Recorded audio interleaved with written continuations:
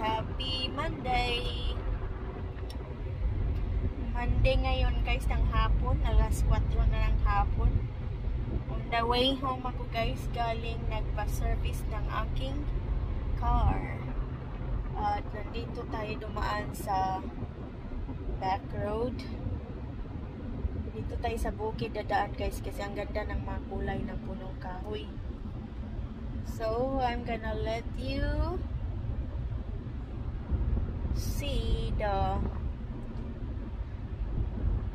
foliage of the trees on the fall.